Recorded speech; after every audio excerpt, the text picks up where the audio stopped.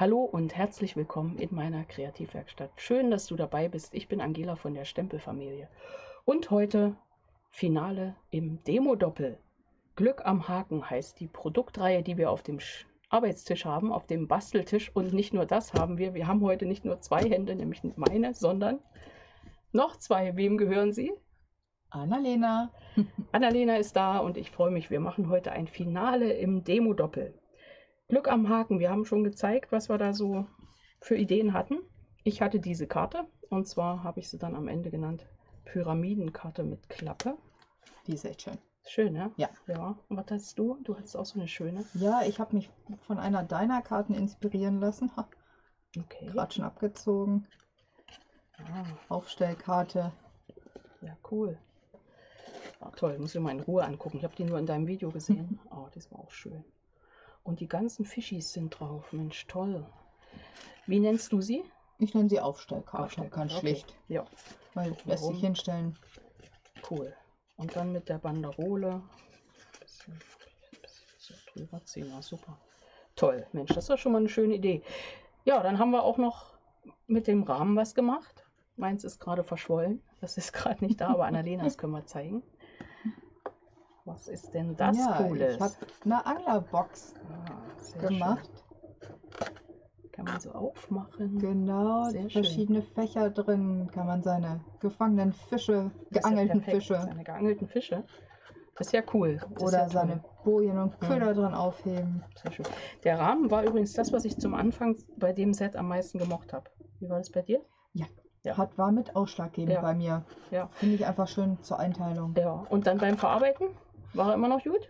Ja, war ja, auch gut. Ist auch noch. Also- Sehr schön. Also total schöne Sache, die Box. Man Fische auch- reinfangen. Wir sind mir während des Bastelns noch mehr Ideen gekommen, Ja. was man Schönes mitmachen kann. Ja, cool. Richtig. Und dann haben wir uns gesagt, weil es so beliebt ist, basteln wir doch mal wieder zusammen. Und das ist heute. Und wir haben uns gedacht, was machen wir? Wir spielen am Arbeitstisch. Warte, ich gebe dir deins, Mhm. ich. Ich habe wieder dieses einnehmende Wesen. Der Arbeitstisch ist so schön leer, ne? Das ist bei Ja, mir gar nicht normal. Das ist, aber heute ist das so. Wir spielen also, wir spielen jetzt Angeln. Fischeangeln. Finde ich gut. Gut, dann machen wir doch mal ein Angelspiel. Ich habe da schon mal was vorbereitet. okay, also ein Angelspiel. Was haben wir? Fische haben wir in dem Set. Annalena, du hast auch schon was vorbereitet. Ah, du hast Fische ausgeschnitten. Das ist ja, sehr schön. genau. Sehr cool. Und ich habe in meinem Garten geerntet. In meiner, wie heißt das? Das Wort weg. Bambus. Im Bambus, genau, die Stäbe, da habe ich immer Unmengen. Falls ihr welche wollt, sagt was. Schicke ich euch zu. Nee, Spaß. Es wird Frachtgut. Das ist dann auf Palette. Nee, aber da habe ich ganz viele und damit kann man doch wunderbar Angeln bauen. Das machen wir jetzt einfach. Magnete habe ich sowieso. Knete habe ich nicht, aber Magnete habe ich. So. Und dann dachte ich mir, wenn du die Fische machst und du hast ja schon so schön vorbereitet, mache ich das Becken. Ja, ich habe die Fische hier schon mal geschnitten. Wo kommen die denn her? Meine Fische sind kleiner. Hier, guck mal. Meine Fische sind gestempelt. Genau. Und wo kommen deine her? Meine kommen aus dem Designerpapier, was dazu Okay. gehört. Da Ah. gibt es ganze Bögen drin mit verschiedensten Fischvarianten Ja, sehr cool. in allen Größen und Formen. Frische Fische aus Nordorf. Genau. Ja, sehr schön. Okay, die hast du ausgeschnitten und jetzt machen wir was? Ach, du hast sogar schon die Schatten geschnitten. Ja, ein bisschen, fleißig. aber noch nicht alle, Okay. damit wir sie auch äh, den Magneten schön verstecken können, beziehungsweise nicht den Magneten, sondern Ja, die, in dem Fall den Draht, ne? Wir haben Büroklammern. Wir nehmen jetzt Genau. alles, was wir so zu Hause gefunden haben, schnell. Ich schneide mal schnell aus dem A4-Blatt ein kleines Becken. Das ist jetzt nur so meine Idee gewesen. Das muss nicht so ich sein. meinen letzten Fisch. Du machst deinen letzten Fisch. Ich ziehe hier mal eine Falzlinie bei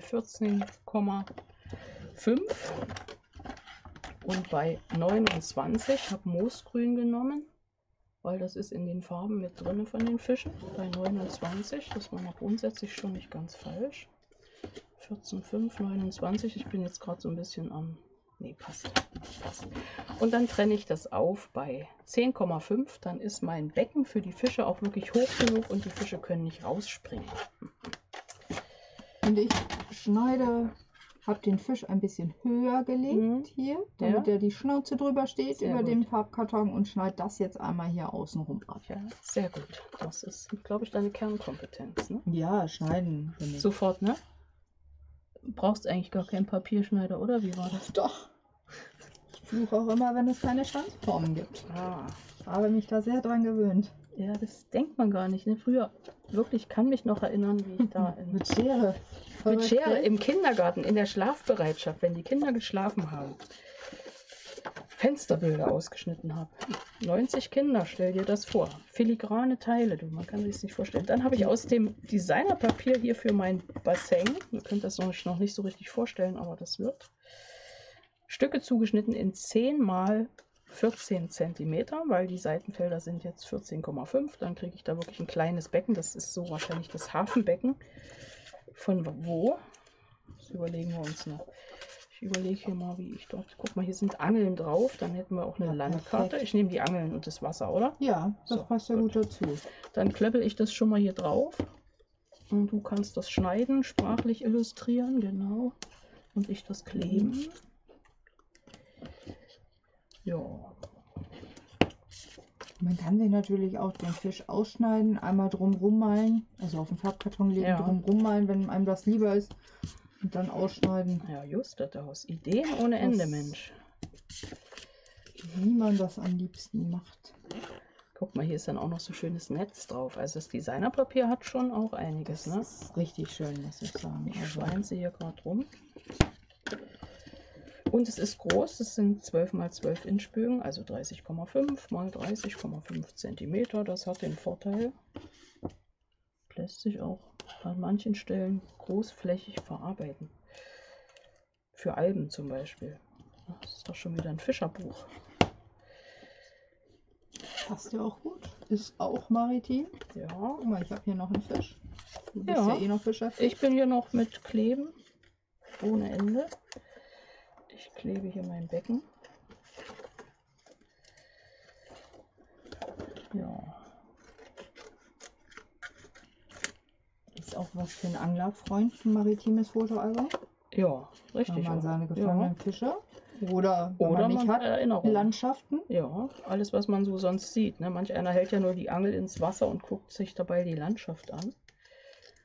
Und will gar keine Fische fangen. Ich habe auch gehört, dass manche die Fische gleich wieder reinschmeißen. Es geht nur um den Spaß. Okay, okay. Die Fische dann noch ganz sind, mag es gehen. Bleiben die ganz? Keine Ahnung. Angeln kenne ich mich so gar nicht mit aus. Okay. Aber ein Angelspiel ist natürlich. Da kann man die Fische auf jeden Fall unbesorgt wieder zurückwerfen. Richtig. Und wir haben, ich habe das eben schon, wenn ihr jetzt meine Magneten gleich seht, ihr werdet sehen, das sind auch die von den, von den Schrottsammlern praktisch. Wir können damit so richtig das Wasser sauber machen. Von Met Metall befreien. Ich muss gleich aufpassen, dass es mir nicht alles Metall aus dem Arbeitstisch auf den Haufen zieht. So, das ist doch schon mal ein schöner Plan. Ich könnte sein, dass ich was falsch. Nee, habe ich nicht. Doch, habe ich. Habe ich. Ich habe es falsch rumgeklebt. Ich wollte es wechselseitig haben. Ah, Aber das ist, fällt unter die. Nee, das wollte ich so. Ich wollte, dass das so um Eck geht, weißt du? ich denke auch, dann hast du an zwei Ja, ja. Seiten dein Hafenbecken und auf zwei Seiten das Wasser. Das Ja. ist in Ordnung. Genau, das muss so. Das läuft bei mir so. Ich lege das hier an. Also, ihr kennt das ja schon aus Angelas Fehlern lernen. Ihr wolltet das vielleicht wechselseitig machen. Ich will das so machen. Also darauf achten, ne, wo die Klebeflächen sind. Jetzt lege ich das hier an meine Linien unten an. Hier so an Linie Nummer 5 und klebe das und dann passt das. Und die andere Sache müsste automatisch gehen. Geht so auch. Habe ich ein Glück, dass ich gut gemessen habe. Ich war mal nicht vermessen. So. Schmeißen die Wortwitze heute raus. So. Andere Seite. Und schwuppdiwupp. Guck mal, unser Becken ist fertig. Ja, und ich finde das gut, dass das auf zwei Seiten jeweils Das ist gut nebeneinander so, ne? gleich ist, Ja. weil das ist quasi das Ja. offene Meer geht's raus. Oh Mensch, das ist so schön, dass Kein du das Kanal, an dem wir angeln. Perfekt. Sonst wäre es ein Kanal. So, ja, wir angeln doch, wir angeln doch nicht am Kanal. Gut, so, wir haben schon einen Probefisch, oder? Nee, Wir hatten, wir hatten was. Eine Boje, genau, Schrott. Aber die war es nicht. die hier müsste es, könnte es sein. Okay, Ja. die schmeiß mal schon mal rein. Ne? So, und dann kannst du schon mal einen Fisch bauen. Jo, zeig mal, wie du einen Fisch baust und ich bereite mal alles für meine Angel vor.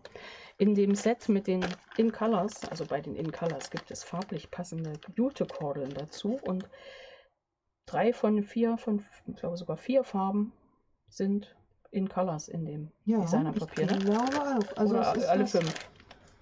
Kieselgrau. Nee, das Malve ist nicht dabei. Malve ist Oder nicht dabei. bei den Nee. Fischen? Bin, Nee, ich glaub auch nicht. Mal weiß nicht. Dafür haben wir dann das, das, das hier K- Calypso. Genau. Ich nehme meinen Ja. Fischschatten sozusagen. Der Ja. hat hier so eine abgeschnittene Schnauze. Mhm. Klebe darauf die Büroklammer. Mhm. Und zwar ja, mit dem unteren Ende, dass das ein bisschen hier rüber hinausragt. Ja. Und ich denke, dafür nehme ich doppelseitiges Klebeband. Ich Ja. weiß gar nicht, wie du deine Boje gemacht hast. Ich habe natürlich doppelseitiges Klebeband. gen- Ja, Kommt ne? mir nichts anderes in, den- auf den Tisch, bitteschön. ist ja nur fürs Video, sonst schon. Und das klebst du da drauf, ne? Genau, das klebe ich Genau. hier einmal auf meinen Fisch. Wenn wir hier einmal am doppelseitigen sind, nehme ich auch etwas und tue es vorne an die Spitze von meinem Bambusstäbchen. Also ich habe es so, ich glaube, ich bin bei 20 cm 25 geblieben. Warum? Damit ich das Ganze dann, wenn ich das nachher immer so, sage mal, flach lege, hier mit reinpacken kann. Wenn ich Perfekt. dann so eine kleine Verpackung bastle, Finde ich super. vielleicht, ich habe sie noch nicht fertig, aber ich bastle sie. Genau, und da habe ich den doppelseitigen dran.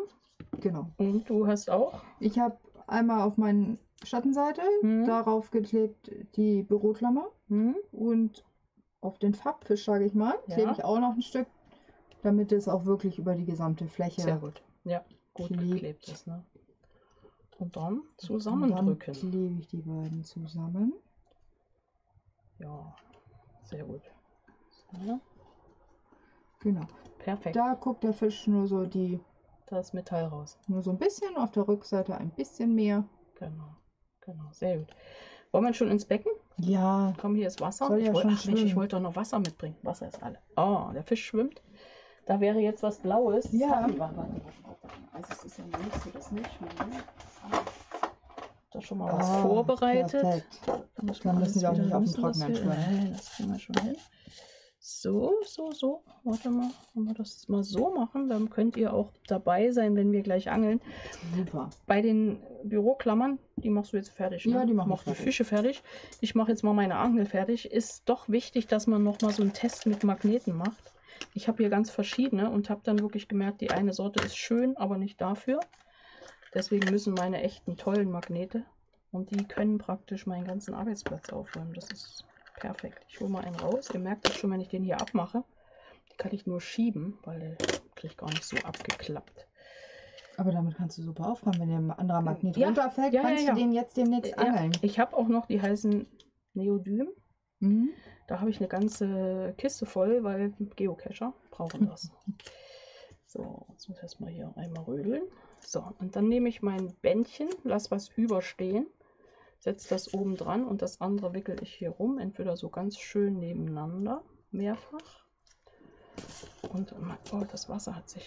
Oh, hier passiert aber auch viel auf dem Tisch. Und dann wickel ich wieder zurück, bis ich oben an meinem Ende bin. Und da, wo mein Klebestreifen ist, und da mache ich einen Knoten. Du kannst das natürlich viel schöner machen und kleben und mit, mit, also zum Beispiel mit Klebstoff dann am Ende fixieren. Oder verdödeln hier, so mit, mit Feuerchen, so wie bei Paracord-Armbändern. Die mache ich gerade zwischendurch immer mal. So, und das habe ich jetzt hier vorne schon mal so festgezwirbelt. Gibt es eigentlich irgendwas, was du noch nicht ausprobiert hast? Ja. echt? Doch. Ja? Weiß ich gerade noch nicht. Schlag was vor. Ich glaube, ich habe es noch nicht gemacht. So, und dann habe ich so, ich sag mal, ein bisschen länger kann es ruhig sein, weil halten wir. Mache ich gerade mit auf Arbeit mit meinen Bewohnern, mit meinen Spezies. Spezies ist auch immer schön, ne? So, dann mache ich hier vorne einen Knoten. Und ihr ahnt es schon, auch gleich nehme ich wieder das doppelseitige Abreißklebeband. Es gibt bestimmt tausend Möglichkeiten, aber für mich gibt es nichts Schöneres als doppelseitiges Abreißklebeband. Das ist auch eins meiner Lieblingsklebebänder, muss Ja, ich ne? sagen. Und in dem Stempelset und Stanzenset gibt es auch noch verschiedene kleine Köder, heißen sie. Eine Angel habe ich schon fertig. Man kann das immer beidseitig auch verkleiden. Ich habe das jetzt aber mal nur auf einer Seite gemacht. Ziehe hier doppelseitiges Schutzfolienpapier ab, setze dort Knoten da drauf, den ich unten gemacht habe. Den setze ich so ein bisschen drüber und habe das schon mal fixiert. Und dann habe ich hier mir schon Köder gestempelt. Zum Beispiel diesen. Oder. Ah, ja, da den. sind einige verschiedene Ködervarianten Nicht drin. schlecht, ne? Ja. Oh Mensch, das fischt hier aber ganz schön. Wir können gleich um die Wett Wette angeln. Wobei die Magnete so schlimm sind, wenn wir die beide reinhalten. Was brauchst du? Klebeband. Na gut, ausnahmsweise. Soll nicht so sein. Dann wird nichts passieren, weil die Magnete nur miteinander tanzen, glaube ich. Wir werden angeln wir nacheinander. Wir müssen immer nacheinander angeln. das ist ja kein Thema. Und ich will gewinnen. Ich verliere sehr ungern. Ich oh, das ist ja super. Gut zu wissen, ne? So, das haben wir so rum. Den kann man auch wirklich relativ locker beidseitig kleben. Ich gucke mal, ob meine Tüte hier noch einen hergibt.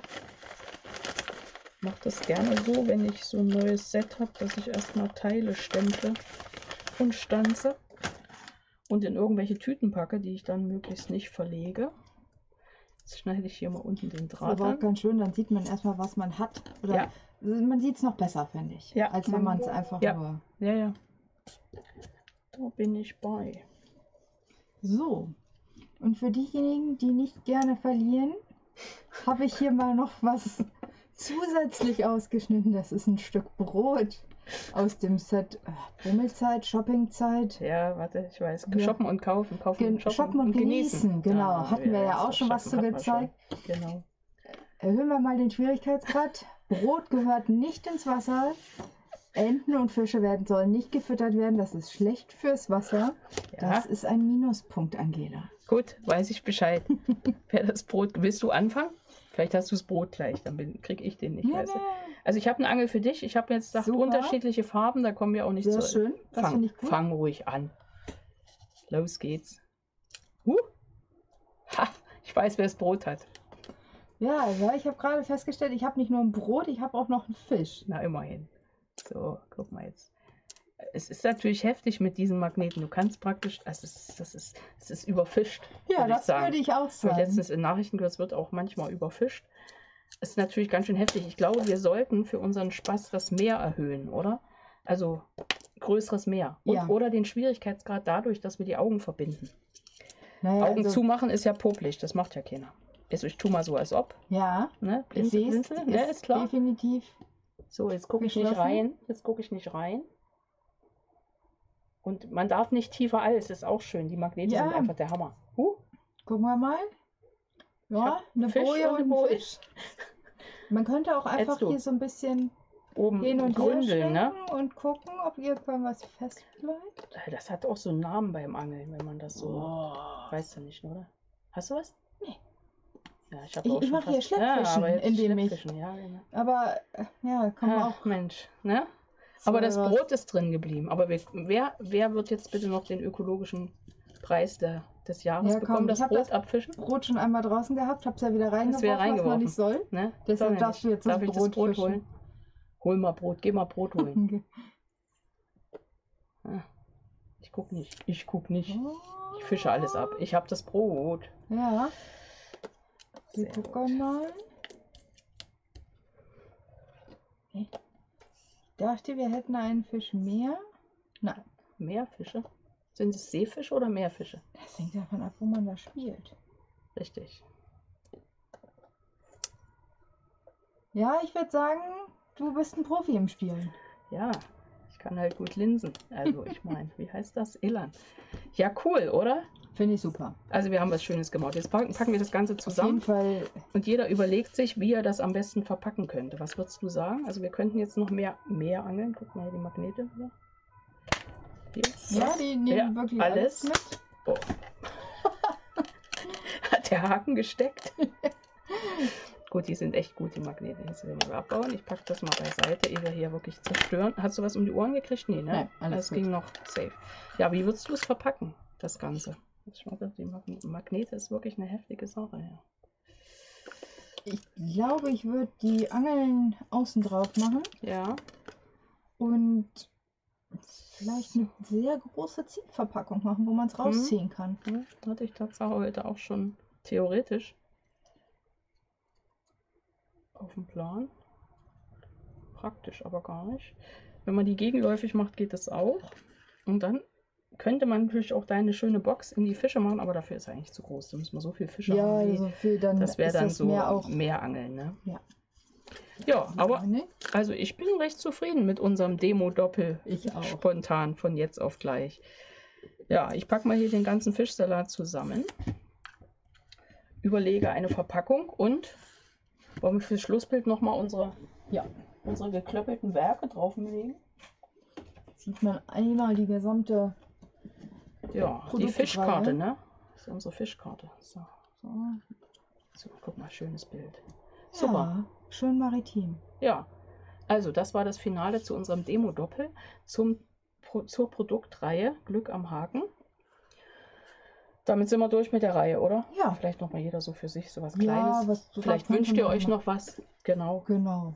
Und was machen wir als nächstes? Das verraten wir noch nicht, oder? Nee. Wir wissen es noch nicht. Aber ihr seid die Ersten, die es erfahren. Es geht auf jeden Fall weiter. Das können wir weiter, ja. sagen. Auch Ja. wenn es heute Finale hieß, es geht weiter. Es geht weiter, genau. Wir haben ja schon mehrere Reihen gezeigt. Äh, könnt ihr alle auf unserem Kanal, heute ist das Video ja bei mir, bei Annalena, Annalenas Kanal verlinke ich genauso hier in dem Video schon mal unten in der Beschreibung. Unten könnt ihr direkt gucken oder da oben, wo mein Kopf ist. Moment, das i, ah, seht es mal, da. Ah.